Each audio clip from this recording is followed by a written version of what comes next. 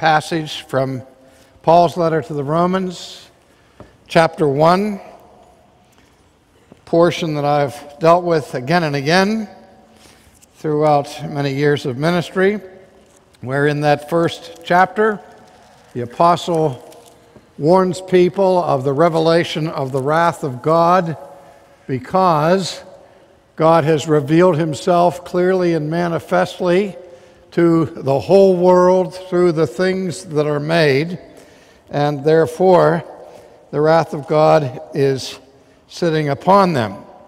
And I'd like to begin at verse 19, where we read, For what can be known about God is plain to them, because God has shown it to them. For his invisible attributes, namely his eternal power and divine nature, have been clearly perceived ever since the creation of the world in the things that have been made, so that they are without excuse. For although they knew God, they did not honor him as God or give thanks to him but they became futile in their thinking, and their foolish hearts were darkened. Claiming to be wise, they became fools and exchanged the glory of the immortal God for images resembling mortal man and birds and animals and creeping things. Therefore, God gave them up in the lust of their hearts to impurity to the dishonoring of their bodies among themselves because they exchanged the truth of God for a lie and worshiped and served the creature rather than the Creator who's blessed forever. Amen. And then in verse 28, and since they did not see fit to acknowledge God, God gave them up to a debased mind to do what ought not to be done. Let's pray, shall we? Again, our Father, we thank you for the clarity of your holy word that is accompanied by the power and presence of the Spirit of truth. We ask that that word may indeed pierce the deepest parts of our being and even to our souls. For we ask it in Jesus' name. Amen. It was about 30 years ago that the book Classical Apologetics was published. And we went through much editorial work in its preparation.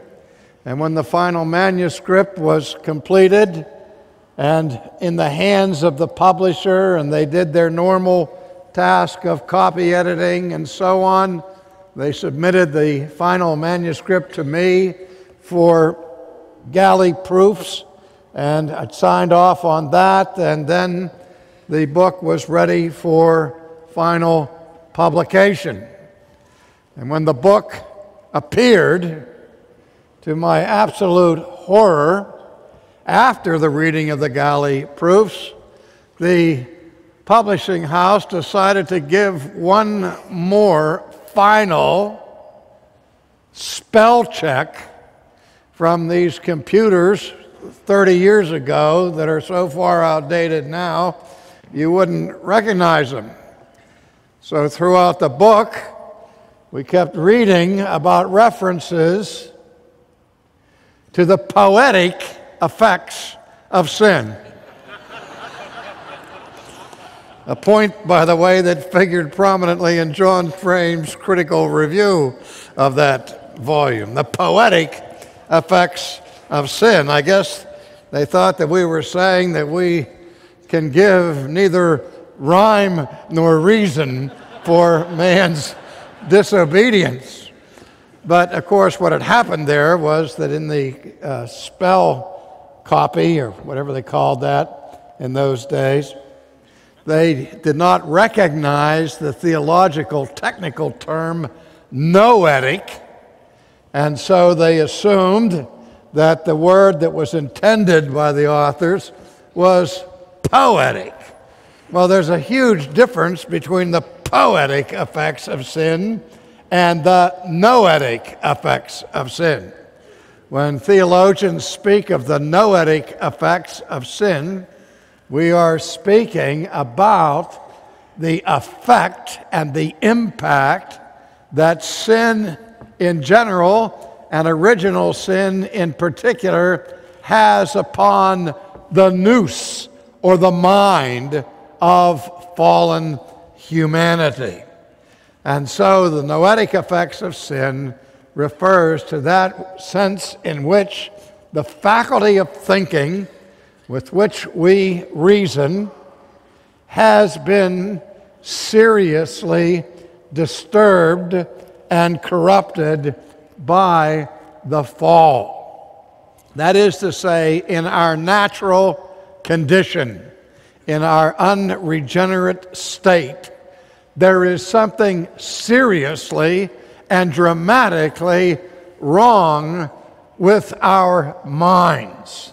And what we have just read from the pen of the Apostle Paul, he said the reason for this is that the wrath of God sits upon the whole world because God has so clearly, manifestly revealed himself in nature through the in, his invisible being being made visible through the things that are made and that that knowledge that God reveals is not just out there objectively for all of us to read or misread but that that message implanted in nature gets through and so that all men know in fact that God exists i remember several years ago being invited to speak at a college to the Atheist Club.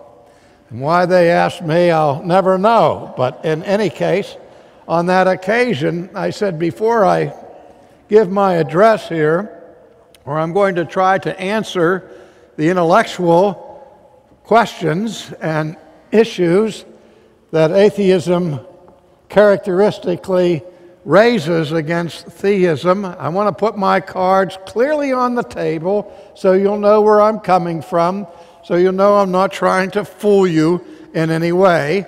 But at the outset, let me say to you that though you say you do not believe in God and you want me to give a compelling argument for his existence, I know going into this discussion that in fact you already know that God exists and that your problem with the existence of God in the final analysis is not an intellectual problem, it's a moral one. Your problem is not that you don't know that God exists, your problem is you can't stand the God whom you know exists. Well, I gave that speech before I read Andrew Carnegie's, or not Andrew Carnegie, Dale Carnegie's Win Friends and Influence People. But I was telling them what the New Testament says that because of their hostility in their corrupt condition to the things of God, that by nature we do everything we can to suppress and repress whatever revelation God gives of Himself to us. And that is not without consequences. It says here in Romans 1 For what can be known about God is plain, because God has shown it to them, so that the creature on the judgment day cannot plead that if the student didn't learn, the teacher didn't teach, because the teacher in this case is the perfect, omniscient God. And if the student fails to get the message from this pedagogue, there is no excuse. For he says, his invisible attributes, even his eternal power and divine nature, have, have been clearly perceived ever since the creation of the world. So they are without excuse. Now, here's the crux of the matter. Although they knew God, they did not honor him as God or give thanks to him, But they became futile in their thinking, and their foolish hearts were darkened. They claimed to be wise, but became fools. So foolish as to exchange the glory of the immortal God for images resembling mortal men, birds, animals, creeping things. And for this reason,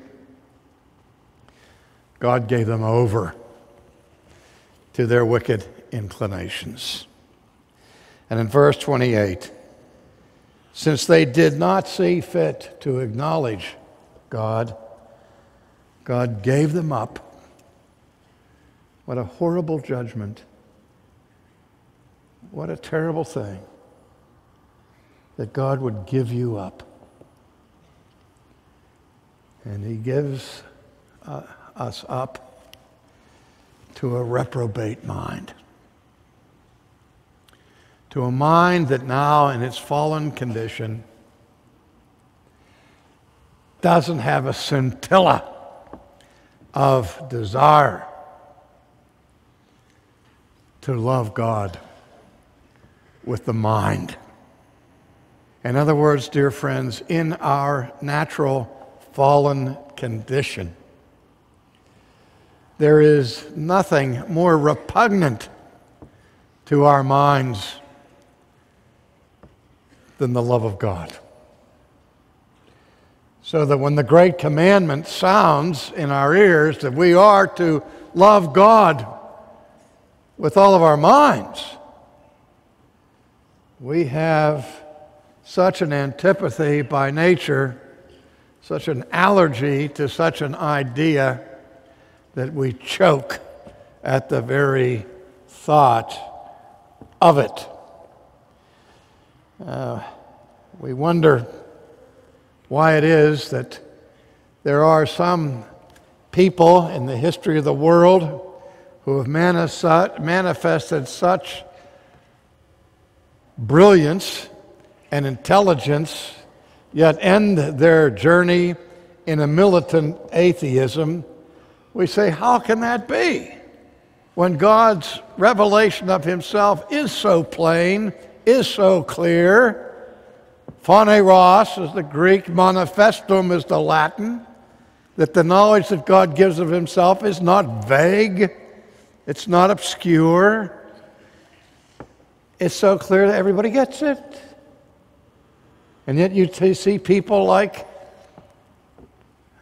Jean Paul Sartre, who is evidences such brilliance, men like the philosophers of the ages, Feuerbach, Marx, others, Kaufmann, who in all other degrees manifest such brilliance that they miss this fundamental truth.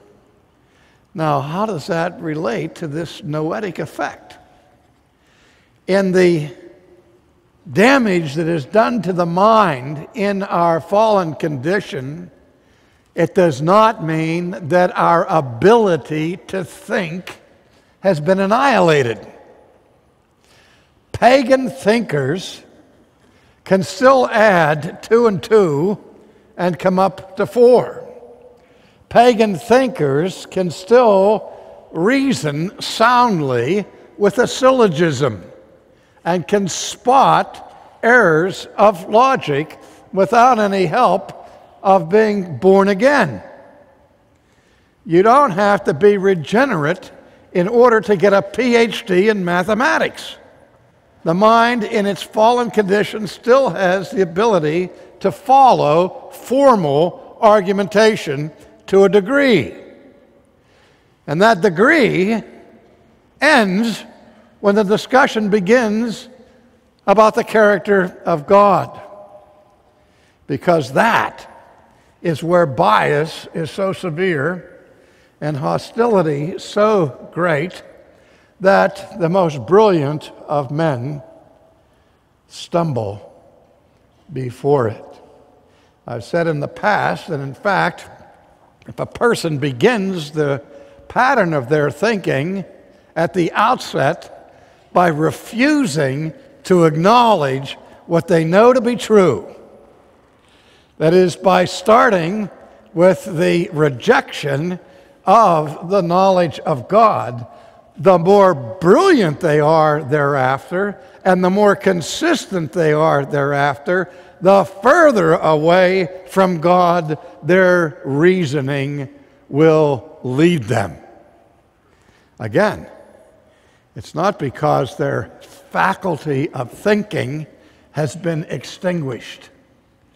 They can still reason, and they can still argue, and they can argue consistently. But again, if their beginning premise is a denial of what they know to be true and a refusal to acknowledge what they already know, it is no wonder that their conclusions lead them to become shepherds of death. All right, if this is our natural condition, what is the first of all the relationship between rationality, between thinking, and faith? The late great Augustine made the comment that there is a symbiotic relationship between faith and reason, one that is so important that if you try to have faith without reason, the faith that you will display will not be authentic biblical faith. Because a faith without reason, Augustine said, is not faith, but credulity. It's the kind of silliness that affirms that belief in the existence of little green men who live on the other side of the moon whose non existence as a negative can never be proven. And you can argue saying that we've had people on the moon who've never encountered these little green men, and we have the Hubble telescope who have never been able to capture in their lens these little green men. And these people who are steadfast believers in the little green men will say, wow, that's because these little green men that live on the other side of the moon have a built in allergy to telescopes, to scientists, and to astronauts, so that they make themselves carefully hidden whenever a telescope is pointed in their, their direction. Now, they can argue their point, but their faith is credulity, it's foolishness. Now, Augustine says that there is such a relationship between faith and reason, and that it is no virtue to rejoice in an irrational faith. No. Faith, though it is the substance of things unseen, is not a leap into the darkness. God never calls people to make a blind leap into the darkness as an exercise in faith. In fact, the New Testament always and everywhere calls us to leap out of the darkness and into the light. And again, there are those, even in our day, who think that there is some kind of virtue in proclaiming their faith in what is patently absurd. No. The faith that is revealed to us in sacred scripture is intelligible, it is reasonable, but it is not deemed to be reasonable by those who have this moral hostility to it. Now, I say all of this in preparation to trying to address the topic here about loving the Lord our God with all of our minds. Now, in the first place, we can't love our, the Lord our God with any of our minds while we're still in the unregenerate state.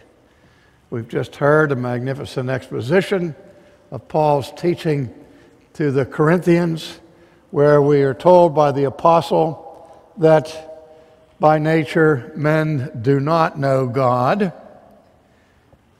And that seems there that Paul is contradicting himself from what he says here in Romans 1, where he says they do know God. And the reason for the judgment of God is because they know him and refuse to worship him, refuse to honor him as God, nor are they grateful. Well, what's the contradiction here? Again, if you look carefully in the New Testament, just as the Hebrews had different nuanced meanings to the word to know.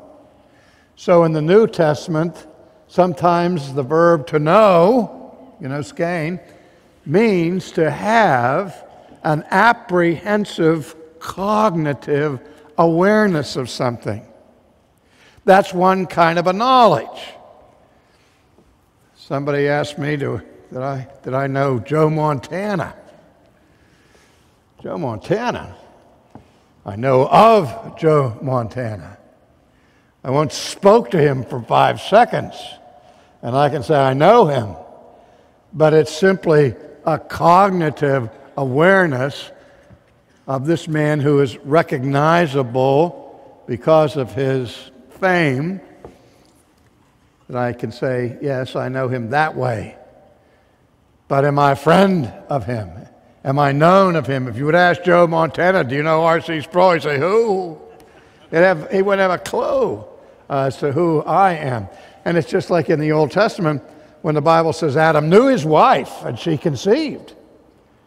It doesn't mean that Adam was introduced to Eve and he had this cognitive awareness of her presence and suddenly she was pregnant. That's not what that means. There, the verb to know, I should say, is pregnant with meaning. It means far more than a mere intellectual, apprehensive, cognitive awareness. It means a deep, personal, tender relationship. And so, on the one hand, Paul says through natural revelation, we all have this cognitive awareness that God exists, but apart from regeneration, apart from the changing of the heart by the Holy Spirit, we don't know Him salvifically. We don't know Him personally. We don't have a loving relationship with God. So we begin by understanding that by nature, the mind does not love God at all. And it will not love God at all unless or until God the Holy Spirit changes the disposition of our hearts, which He does supernaturally and immediately and sovereignly by the Spirit's work of regeneration by which we are born again.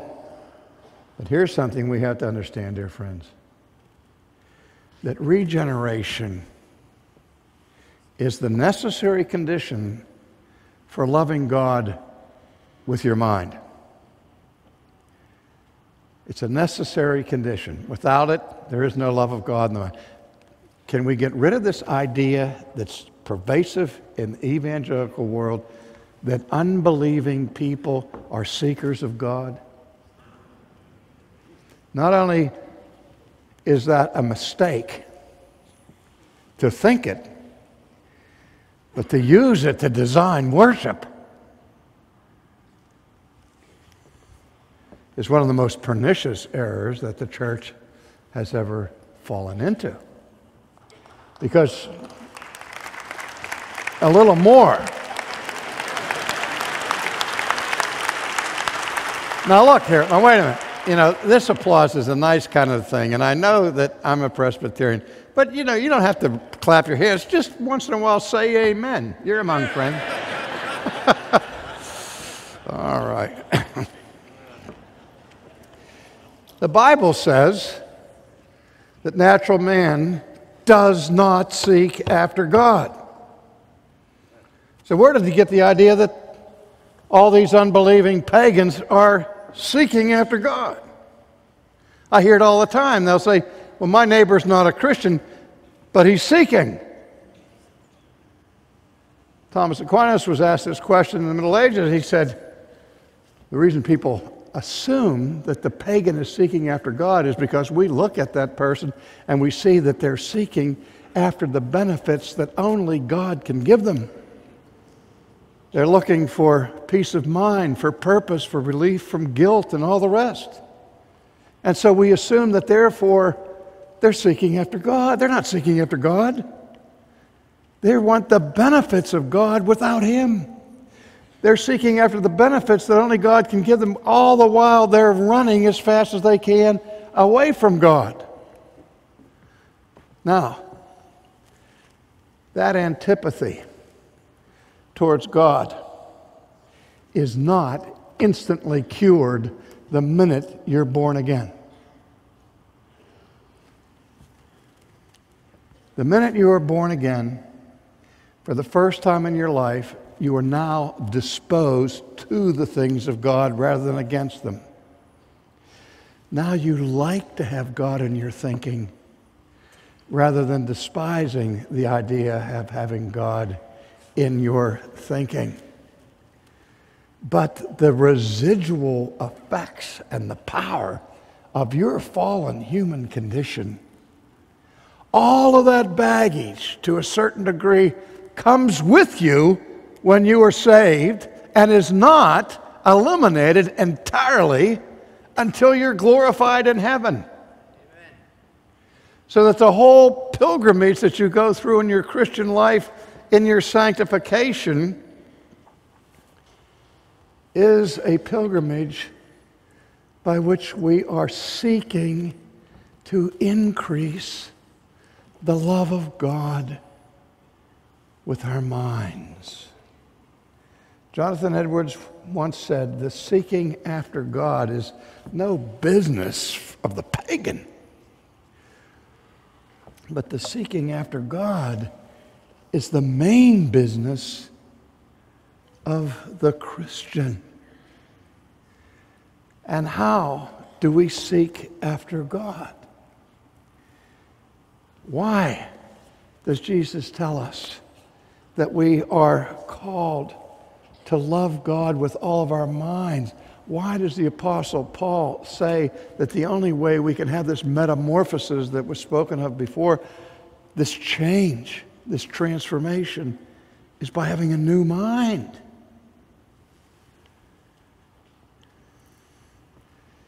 You don't get the love of God from a hip replacement or a knee replacement or even from a heart transplant. The only way you can be transformed is with a new mind. And the only way you can have a new mind is to pursue with all of your power and diligence the knowledge of God. The knowledge of God. If you despise doctrine, if you despise knowledge, that would probably indicate that you're still in that fallen condition where you don't want God in your thinking. But if you're a Christian, what you want is God to dominate your thinking. God to fill your mind with ideas of Himself. Isn't it strange that our Lord says that we are called to love God with our minds? He said we're supposed to love Him with our strength and with our hearts and our souls and all that stuff. But how do you love God with your mind? We don't usually speak of love in terms of it being a cerebral or an intellectual activity, do we? In fact, most of our understanding of love in our secular culture is described in passive categories.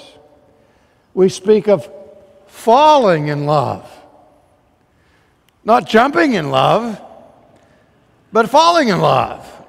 like it was an involuntary accident. I didn't slip. I wasn't pushed. I fell in love. If you remember the old songs, Zing went the strings of my heart. I had nothing to do about it. There was one popular song that gets at this point that goes back 50 years at least. To know, know, know him is to love, love, love him, and I do. Yes, I do. Yes, I do. All right? See, Randall, I can do rhythm and blues. to know him is to love him. And we want to love God. But how can you love him if you don't know him? Nothing can be in the heart that is not first in the mind. And if you want to have an experience of God directly, particularly in worship, where you bypass the mind, you're on a fool's errand. Can't happen. You might increase emotion.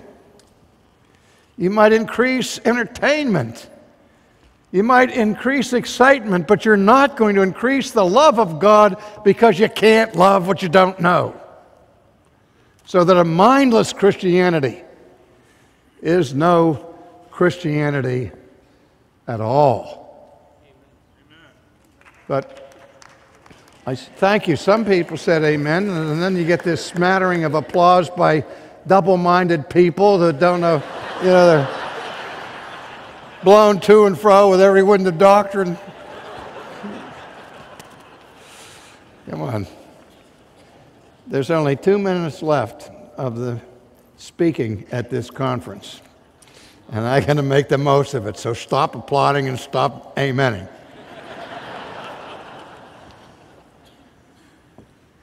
if I want to love God more, I have to know Him more deeply. And the more I search the scriptures, and the more I focus my mind's attention on who God is and what He does, the more I understand just a tiny little bit about that, the more my soul breaks out in flame.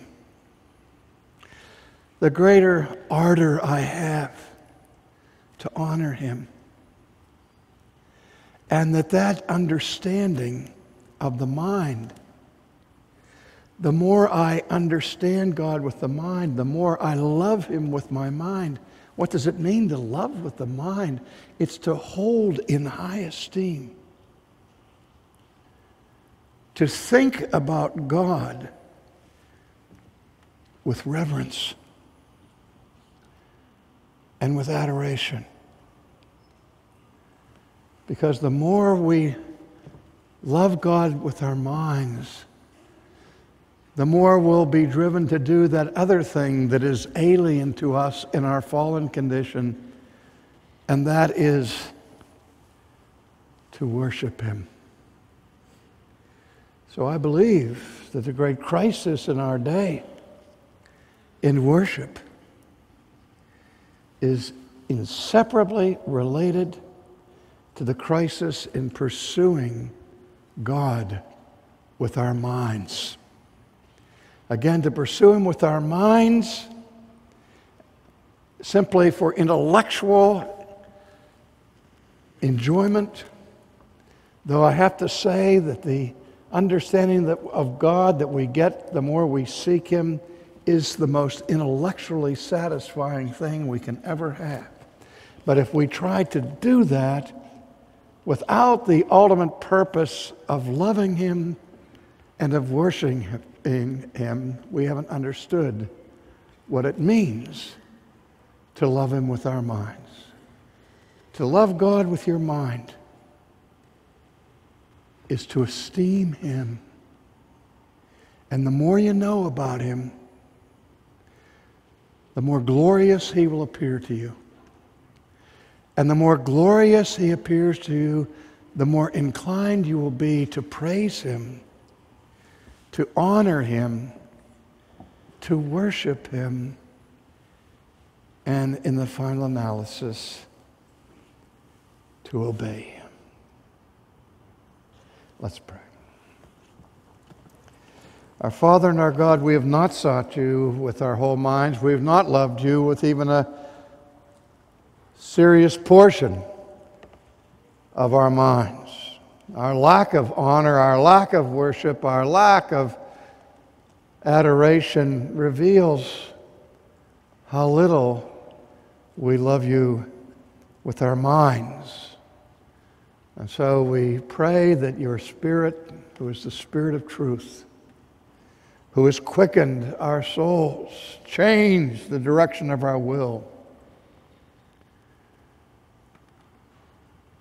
might inflame our minds with love for you and for the truth that you have revealed in Jesus.